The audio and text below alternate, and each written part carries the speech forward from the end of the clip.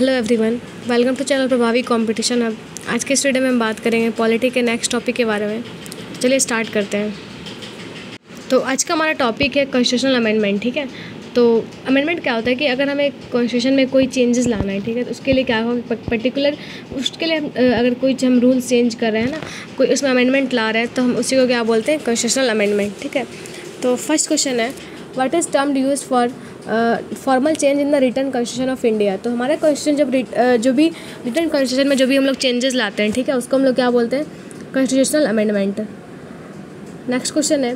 Which article of Indian constitution deals with the powers of parliament to amend the constitution तो हमारे constitution में कौन से article के अंदर पार्लियामेंट को ये पावर मिला हुआ है कि वो कॉन्स्टिट्यूशन को अमेंड कर सकती है? तो article three sixty eight the procedure for amendment of the constitution has been laid down in which part of Indian constitution तो कॉन्स्टिट्यूशन को जो अमेंड करने का जो प्रोविज़न है को जो प्रोसेस है वो कौन से पार्ट में दिया हुआ है? तो ये पार्ट ट्वेंटी में लिखा हुआ है ठीक है? और article three hundred sixty eight in which judgment court rule that parliament can not amend those provisions which form part of the basic structure of the constitution तो कौन से जजमेंट में ने सुप्रीम कोर्ट ने ये कहा कि हम अप, अप, ये कॉन्स्टिट्यूशन को अमेंड तो कर सकते हैं लेकिन उसके बेसिक स्ट्रक्चर को हम लोग चेंज नहीं कर सकते हैं। ये बोला था केशवानंदा भारती केस 1973 में। How many categories of amendments are described under article 368 of the constitution तो आर्टिकल 368 के अंदर कितने टाइप के अमेंडमेंट्स को बताया गया? तो ये टू टाइप्स के अमेंडमेंट्स को। Which kind of bills must be passed by each house of the parliament separately by the special majority तो कौन से बिल किस टाइप के बिल को है ना, कि पार्लियामेंट में सेपरेटली दोनों हाउस में पास होना होगा? इसके लिए जॉइंट सीटिंग पॉसिबल नहीं है। अगर अमेंडमेंट करना हो और उससे रिलेटेड कोई बिल हो तो उसमें हम जॉइंट सीटिंग का प्रोविज़न नहीं है। दोनों अलग अलग हाउस से सेपरेटली उसको पास होना पड़ेगा, ठीक है? वो भी किससे? स्पेशल मेजोरिटी से, ठीक है? तो ये सबसे ज़्यादा टफ मेजोरिटी होता है और ये कॉन्स्टिट्यूशनल अमेंडमेंट बिल्स के रिगार्डिंग ये चीज़ बोला गया है। नेक्स्ट है under article 368 of the Indian constitution the constitutional bill can be initiated where तो अगर आर्टिकल 368 के अंदर किसी को भी एक स्पेशल पावर नहीं मिला हुआ, ठीक है? वो बिल अमेंडमेंट बिल किसी भी हाउस में आ सकता है, चाहे वो लोकसभा में, चाहे वो राज्यसभा में। Under Article 368 of the Indian constitution what majority of a house is required for amending constitution through special majority? अगर स्पेशल मेजोरिटी के अंडर कॉन्स्टिट्यूशन को अमेंड करना हो तो हमें किस तरह का, क्या मेजोरिटी चाहिए होगा? तो two third of the majority of that house present and voting ठीक है? नेक्स्ट है how many provisions of the Indian constitution can be amended by a simple majority तो कितने प्रोविजंस हैं जिसको हम लोग बस सिंपल मेजोरिटी से ही अमेंड कर सकते हैं? तो वो नाइन प्रोविजंस हैं।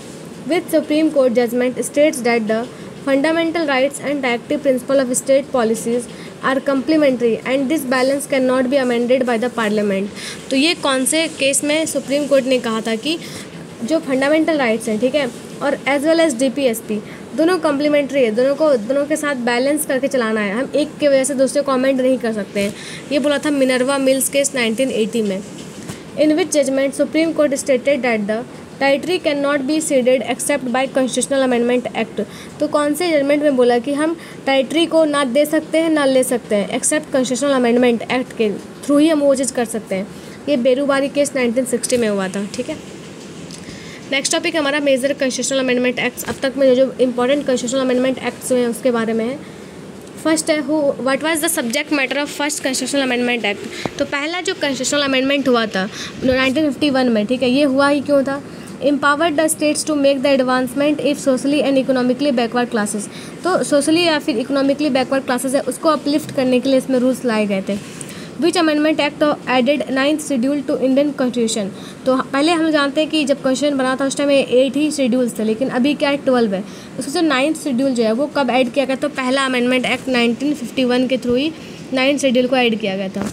Which amendment to Indian constitution made Sikkim a state within Indian territory तो कौन से मतलब कौन से अमेंडमेंट एक्ट के थ्रू क्या हुआ कि सिक्किम एक फुल फ्लेज स्टेट बन गया हमारे यूनियन ऑफ़ इंडिया का? तो थर्टी सिक्स अमेंडमेंट एक्ट के थ्रू ऐसा हुआ। Which amendment act of the constitution deleted the right to property from the list of fundamental rights हम जानते हैं कि पहले सेवन फंडामेंटल राइट्स थे इंक्लूडिंग राइट टू प्रॉपर्टी ठीक है? लेकिन राइट टू प्रॉपर्टी को फंडामेंटल राइट से हटा के अब लीगल राइट कर दिया गया। तो ये कौन सा आर्टिकल में, कौन से अमेंडमेंट में किया गया था? Forty fourth amendment act nineteen seventy eight में। Which amendment act of Indian constitution introduce the anti defection provisions in the constitution तो कौन से अमेंडमेंट एक्ट के थ्रू एंटी डिफेक्शन प्रोविज़न को लाया गया, ठीक है? जो कि टेंथ शेड्यूल में दिया हुआ है कि अगर मान लीजिए एंटी डिफेक्शन का क्या मतलब होता है? अगर मान लीजिए कोई कोई पर्सन एक्स है वो वाई पार्टी से जीत करके आया, लेकिन फिर बाद में वो जेड पार्टी को ज्वाइन कर लेता है।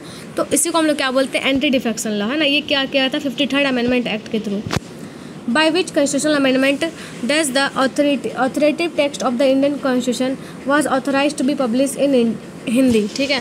तो कौन से अमेंडमेंट एक्ट के थ्रू ये बोला गया कि जितने भी कॉन्स्टिट्यूशन की कॉपीज़ हैं, ठीक है, उसको हिंदी में भी पब्लिश की जाएँगी। तो ये फिफ्टी एट अमेंडमेंट एक्ट के थ्रू बोला गया ऐसा। Which amendment act of the Indian constitution reduce the voting age from twenty one to twenty eight तो पहले जो वोटिंग एज थी वो ट्वेंटी वन ईयर्स थी, लेकिन अब उसको रिड्यूस करके एटीन कर दिया गया। तो ये कब किया गया? Sixty first amendment act nineteen eighty nine में। Which amendment of the Indian constitution converts the union territory of Delhi into national capital region of India तो पहले से क्या था सिर्फ़ दिल्ली एक यूनियन टेरिटरी था, ठीक है? लेकिन अब क्या अभी वो एन सी आर है, ठीक है? National capital region N C R Delhi बोलते हैं ना? ये कब हुआ था? सिक्सटी नाइन अमेंडमेंट एक्ट के through which amendment of the Indian constitution provided constitutional status to the panchayat तो पंचायत को कॉन्स्टिट्यूशनल स्टेटस कौन से अमेंडमेंट के थ्रू मिला? तो seventy third amendment act nineteen के through seventy fourth constitutional amendment act added which of the following provisions in the constitution seventy fourth amendment act के through कौन सा प्रोविज़न हमारे कॉन्स्टिट्यूशन में ऐड किया गया? तो सेटिंग अप और devolution of powers to urban local bodies means municipalities के लिए भी एक आ, एक बॉडी क्रिएट कर दिया गया ठीक है? तो यहाँ पे दिया हुआ है डिफरेंट डिफरेंट अमेंडमेंट्स ठीक है? और वो क्यों हुआ था? सब्जेक्ट मैटर क्या था? उसके बारे में। तो पहला है थर्टीन अमेंडमेंट एक्ट 1962 में हुआ था। ये नागालैंड को स्टेट का दर्जा मिल गया था। Eighteen amendment act redefinition of state हम लोग जानते हैं कि स्टेट का डेफिनेशन आर्टिकल नंबर ट्वेल्व में दिया हुआ है। तो इसका रीडेफिनेशन दिया गया था एटीन अमेंडमेंट एक्ट में। थर्टी एट में हुआ था curtailment of the power of judicial review means अभी जैसे कि है ना कि आ, हमारे सुप्रीम कोर्ट को ये पावर है कि वो किसी भी किसी बिल को जुडिशियल रिव्यू के लिए दे सकती है। मीन्स उस पर फिर से रिव्यू करने के लिए बोल सकती है। लेकिन इसको इस इसके कुछ पावर को कर्टेल किया गया थर्टी एट अमेंडमेंट एक्ट के through forty second amendment act nineteen seventy six इसको हम लोग क्या बोलते हैं? मिनी कॉन्स्टिट्यूशन भी बोलते हैं क्योंकि इसमें बहुत सारे चेंजेस हुए थे। इसमें से एक ये भी है कि सेकुलर वर्ड को ऐड किया गया था हमारे प्रियम्बल में, ठीक है? सेकुलर के अलावा सोशलिस्ट और इंटीग्रिटी वर्ड को भी यूज़ किया गया था मतलब उसमें ऐड कर दिया गया था। उसके अलावा फंडामेंटल ड्यूटीज़ को भी इसी अमेंडमेंट एक्ट के थ्रू इंट्रोड्यूस किया गया था। Forty fourth amendment act nineteen जो कि हुआ था, क्यों? इसका रीज़न था abolition of right to property as fundamental rights means इसी इसी एक्ट के थ्रू क्या हुआ कि जो हमारा राइट टू प्रॉपर्टी एक फंडामेंटल राइट हुआ करता था, उसको लीगल राइट में कन्वर्ट कर दिया गया। फिर seventy fifth amendment act nineteen ninety four इसके under establishment of state level rent tribunals tribunals का इस्टेब्लिशमेंट हुआ। ताकि जो भी मैटर्स है ना, उसका इंपॉर्टेंस है कि इन्वायरमेंट से रिलेटेड मैटर है। तो नेशनल ग्रीन ट्राइब्यूनल उसके लिए बना दिया गया, ताकि हम डायरेक्टली वहाँ पर जाएँ, क्योंकि हमारे यहाँ कोर्ट्स को काफ़ी ज़्यादा जजमेंट देने होते हैं ना, काफ़ी ज़्यादा बोझ होता है कोर्ट पे। तो डिसीज़न जल्दी हो पाए इस चीज़ के लिए, इसका ट्राइब्यूनल्स का इस्टेब्लिशमेंट क्या आता है, और वो स्टेट में भी क्या आता है, ठीक है? फिर हमारा eightieth amendment act two thousand ठीक है? Accepting the recommendations of tenth finance commission ये टेंथ फाइनेंस कमीशन का जो भी रिकमेंडेशंस था, उसको एक्सेप्ट करता है। Eighty third amendment act two thousand no reservation for schedule caste in panchayat in Arunachal Pradesh तो इसके अकॉर्डिंग क्या हुआ कि अरुणाचल प्रदेश में शेड्यूल कास्ट को पंचायत इलेक्शन में कोई भी रिजर्वेशन नहीं मिलेगा।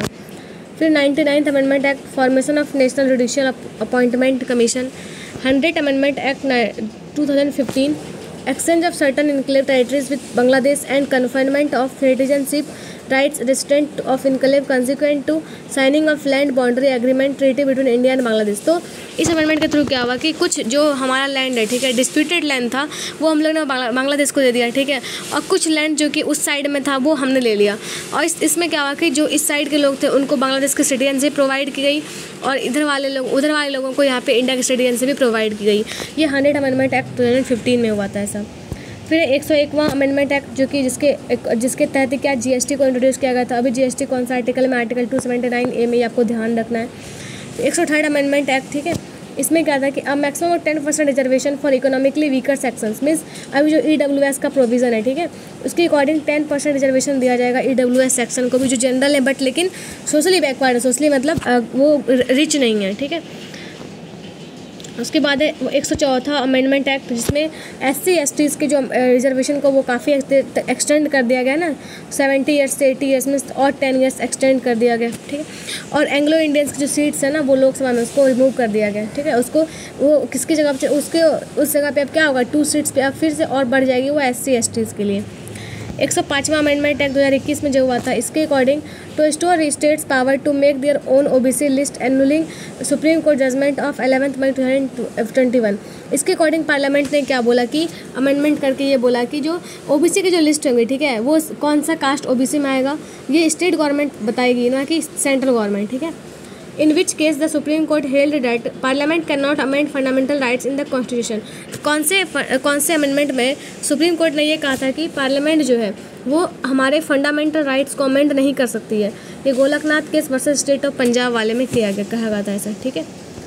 फिर which amendment of the Indian constitution inserted a new article twenty one A in the constitution providing rights और टू एजुकेशन कौन से अमेंडमेंट एक्ट के through article twenty one A में राइट टू एजुकेशन को add किया गया तो eighty six amendment act के अंडर इसमें क्या है कि सिक्स से लेकर चौदह साल तक के बच्चों को मतलब एक पर्टिकुलर एजुकेशन मिलेगा, ठीक है?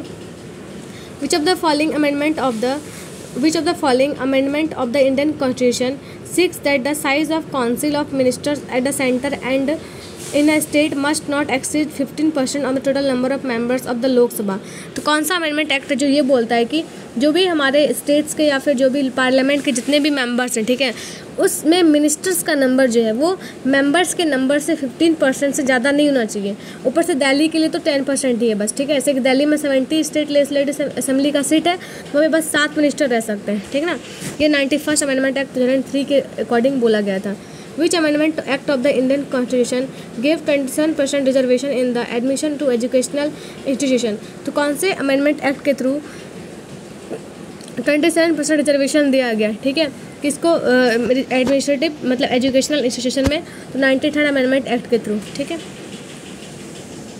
नेक्स्ट है हमारा which amendment of the Indian constitution added the term cooperative society the article nineteen one clause C है ना? नाइनटीन क्लॉज वन सी तो कौन से अमेंडमेंट एक्ट के थ्रू क्या हुआ कि कोऑपरेटिव सोसाइटीज़ को आ, मतलब ऐड किया गया नाइनटीन वन ए सी में? Ninety seven amendment act two thousand eleven के through establishment of national judicial appointment commission in the subject matter of which amendment bill तो एक मतलब अभी क्या होता है कि अभी एक मतलब कॉलेजियम सिस्टम के अकॉर्डिंग जजेस का अपॉइंटमेंट होता है, लेकिन इसके लिए एक नेशनल जुडिशियल अपॉइंटमेंट कमीशन का इस्टेब्लिशमेंट का लिए बिल लाया गया है, वो कौन सा अमेंडमेंट एक्ट के through ninety eighth constitutional amendment bill के थ्रू है ना? What is the subject matter of एक सौ तीनवा amendment act of Indian constitution तो वन हंड्रेड थर्ड जो कॉन्स्टिट्यूशनल अमेंडमेंट एक्ट है ठीक है उसके अकॉर्डिंग क्या बोला गया है कि reservation for economically weaker sections mean general हैं जो कि, लेकिन फिर भी वो उतने रिच नहीं है, ठीक है? तो मतलब इकोनॉमिकली वीकर सेक्शंस हैं तो उनको भी रिजर्वेशन मिलेगा टेन परसेंट ठीक है? तो आई होप आपको समझ में आएगा ठीक है? लोग नेक्स्ट वीडियो में करेंगे political theories and basic concepts के बारे में। तो thank you so much and have a nice day